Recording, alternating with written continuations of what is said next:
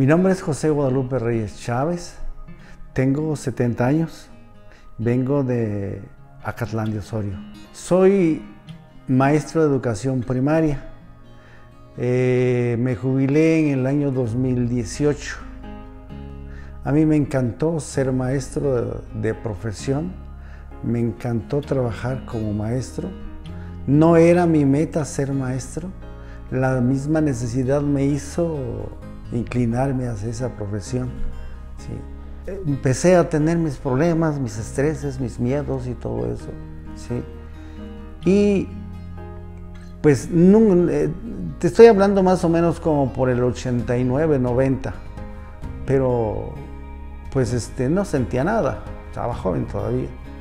Y se fueron dando cosas así que para mí fueron estresantes terminé la administración en el 99 y me detectaron ya la diabetes en, el año 2000.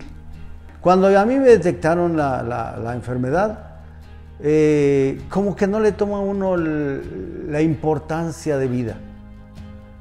Dices, bueno, tengo la enfermedad, pero pues ahí la llevo, ahí la, voy. Entonces, pero llega el momento en que te olvidas que tienes la enfermedad y empiezas a comer de todo, empiezas este, a dejar de,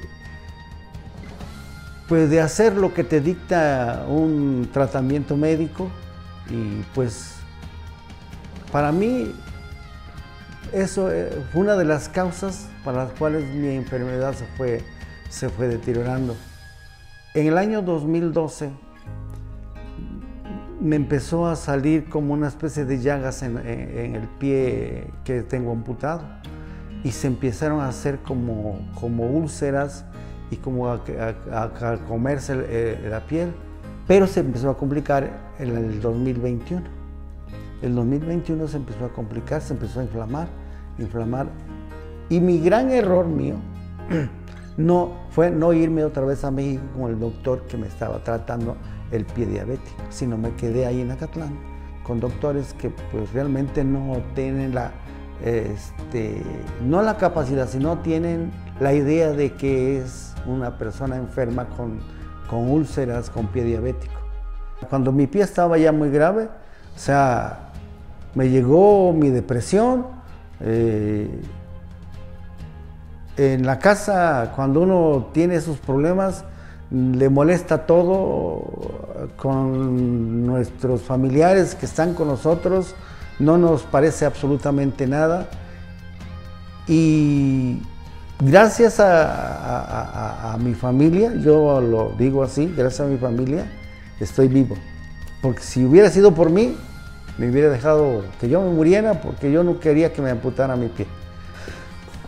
Pues vine a Mediprax no porque quería yo una prótesis. Vine a Mediprax por recomendación del doctor de Los Ángeles, del Hospital Los Ángeles, aquí en Puebla. Me mandó aquí porque él me dijo, mire, quiero una plantilla a su pie. Entonces dije, y me dio la dirección, vaya usted a Mediprax, ahí le van a hacer su plantilla.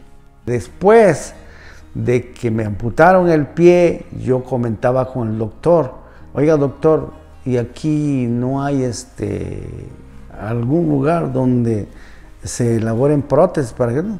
Y es por eso que yo llego a Mediprax, a, pues ahora sí a empezar la terapia. Las terapias pues me ha gustado, me ha gustado por, por este, ¿cómo le dijera? Por esa, ese ánimo, esa confianza que te dan aquí.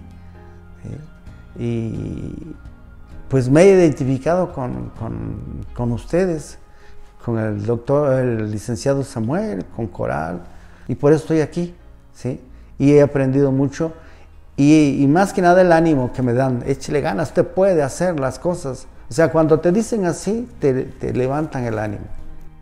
Yo le recomiendo a los que vean este video que se cuiden, que tomen muy en serio si son diabéticos, si tienen pie diabético, que se, que se cuiden demasiado, no lo dejen a la ligera, porque esto es doloroso.